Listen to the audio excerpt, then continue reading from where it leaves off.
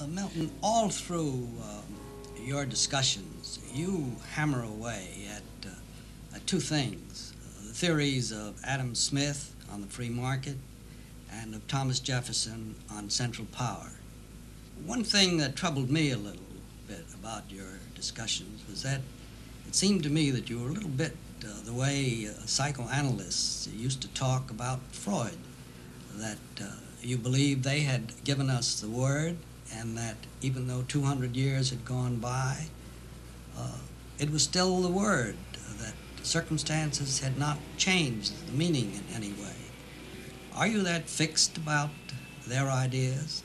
There's a great difference between principles and the application of principles. The application of a principle has to take account of circumstances. But the principles that explain how it is that an automobile operates are no different from the principles that explain how a horse and buggy operated or how a bow and arrow operated. The principles that Adam Smith, uh, Smith enunciated, the philosophy that Thomas Jefferson enunciated, are every bit as valid today as they were then. But the circumstances are different, and therefore the application is in many cases very different.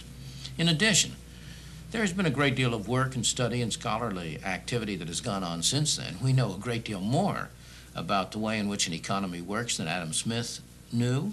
He was wrong in many individual details of his theory, but his overall vision, his conception of how it was that without any central body planning it, millions of people could coordinate their activities in a way that was mutually beneficial to all of them. That central concept is every bit as valid today as it was then, and indeed, we have more reason to be confident in it now than he had because we've had 200 years more experience to observe how it works. All right, well, then, then let, let's go back to Jefferson. Then. Fine.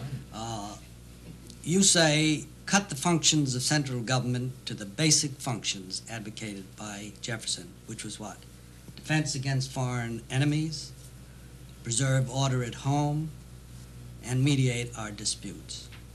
Now, can we do that in the complicated, the complex world we live in today without getting into very serious trouble? Suppose we look at the activities of government in the complex world of today and ask to what extent has the growth of government arisen because of those complexities?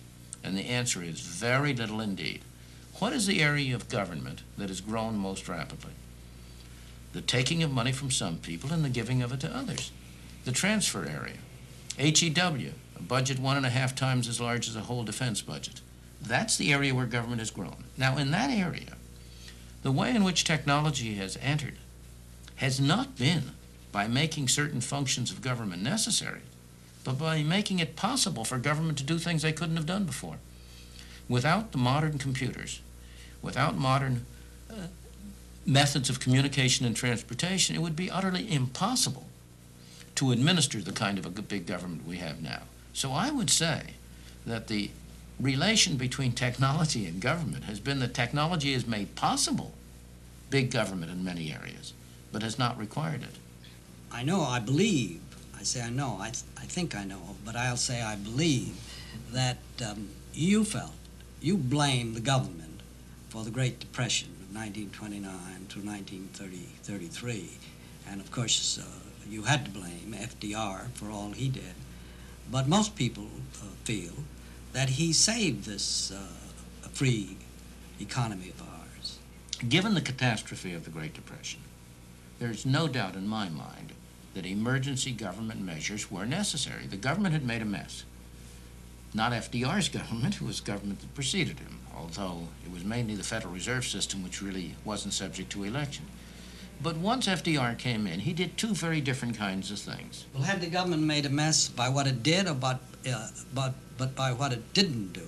By what it did, by its monetary policies, which forced and produced a sharp decline in the total quantity of money. It was a mismanagement of the monetary apparatus. If there had been no Federal Reserve System, in my opinion, there would not have been a Great Depression at that time. But given that the Depression had occurred, and it was a catastrophe of an almost unimaginable kind. I do not fault at all. Indeed, on the contrary, I commend Roosevelt for some of the emergency measures he took. They obviously weren't of the best, But they were emergency measures, and you had an emergency and you had to deal with them. And the emergency measures, such as relief programs, even the WPA, which was a make work program, these served a very important function. He also served a very important function by giving people confidence in themselves. His great speech about the only thing we have to fear is fear itself was certainly a, a very important element in restoring confidence to the public at large. But he went much beyond that. He also started to change, under public pressure, the kind of government system we had. If you go beyond the emergency measures to the what he regarded as the reform measures, things like NRA and AAA, which were declared unconstitutional, but then from there on to the Social Security system, to the uh, uh, All right, well, take, take the Social Security system for a minute.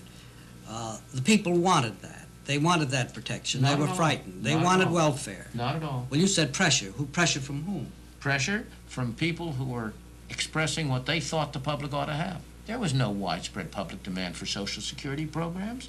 The demand for No, no demand for welfare with 13 million oh, people there was a demand unemployed. for welfare and assistance. I was separating out the emergency measures from the permanent measures. Social Security in the first 10 years of its existence helped almost no one. It only took in money. Very few people qualified for benefits. It wasn't an emergency measure. It was a long-term measure. And it had to be sold to the American people, primarily by the group of reformers, intellectuals, New Dealers, the people associated with, with uh, FDR. The Social Security is one of the most misleading programs. It has been sold as an insurance program. It's not an insurance program. It's a program which combines a bad tax, a flat tax on wages up to a maximum, with a very inequitable and uneven system of giving benefits under which some people get much, some people get little. So that Social Security, Well, would you would you now abolish Social Security? I would not go back on any of the commitments that the government has made, but I would certainly reform Social Security in a way that would end in its ultimate elimination. Well, you're not afraid then of the free market under any circumstances, where cooperation, which you find necessary or which you believe always comes, fails to come, where competition becomes so fierce and becomes very frequently corrupt, and where it beco- or where it becomes stupid. Take, for example, what's happening in today's market, the conglomerates, which have, have been seizing up all sorts of. We, we happen to live in, live in a hotel that's run by a conglomerate. Why should ITT, for example, run a hotel? And how are you going to how are you going to stop that? Well, first place, once again, Without government, without some Once government again. intervention. It's government measures that have uh, promoted the conglomerates. The only the major reason we have conglomerates is because they are a very effective way to get around a whole batch of tax legislation. Let me ask a different question. Who is more affected by government regulations, by government controls? I suppose I thought I was supposed to ask the questions. you, but I was warned that you might turn these uh, on me. But tell me, who is uh, uh, who's more affected? The big fella, who can deal with it, who can have a separate department to handle the red tape, or the poor fella Well, the big fella can always take care of himself under any system. Right. And This is- therefore, you want a system which gives the big fellow the least advantage. And the system under which he can get government to help him out gives him the most advantage, not the least.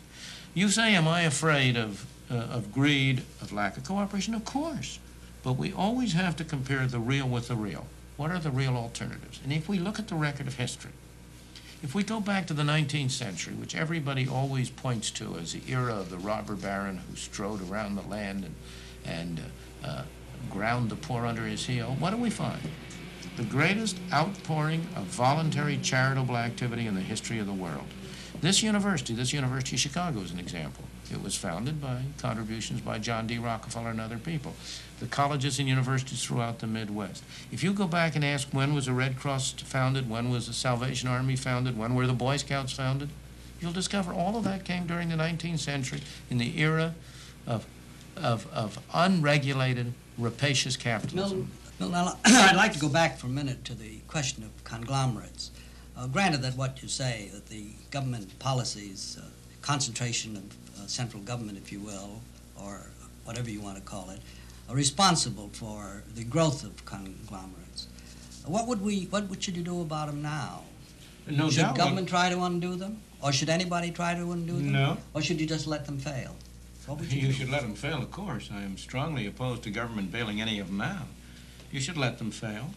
Uh, the best things you can do, in my opinion, are first to have complete free trade so you can have conglomerates in other countries compete with conglomerates in this country. We may have only two or three automobile companies, Now, but there's Toyota, there's Volkswagen. Competition from abroad is effective. But in the second place, when you say complete free trade, you mean all over the world.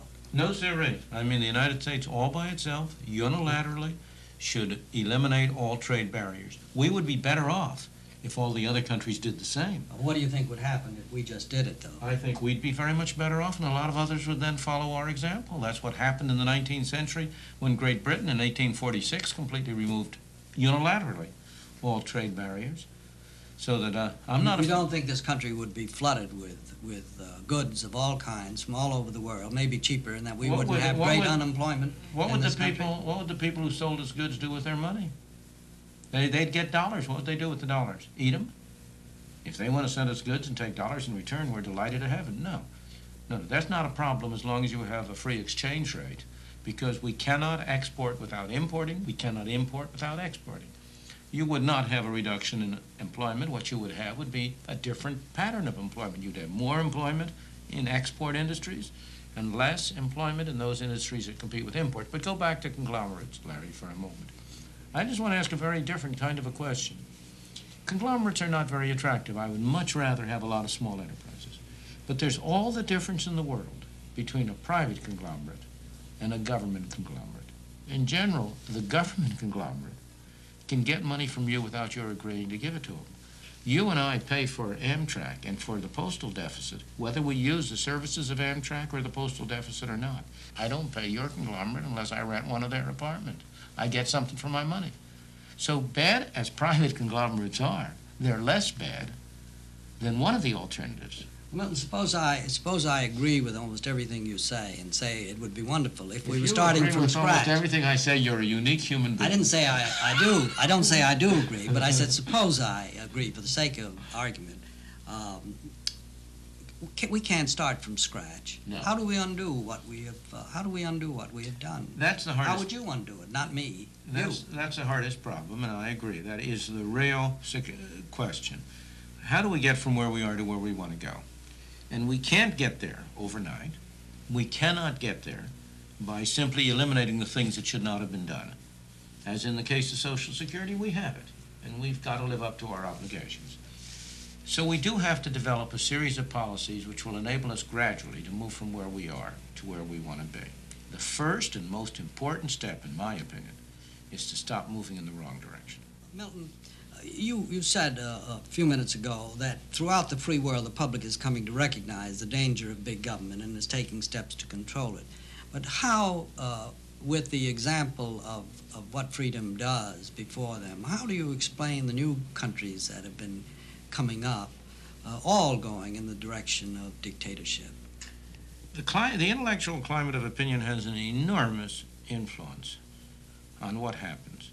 And the popular intellectual attitude within the free countries for the poor countries has been that they have to have centralized government.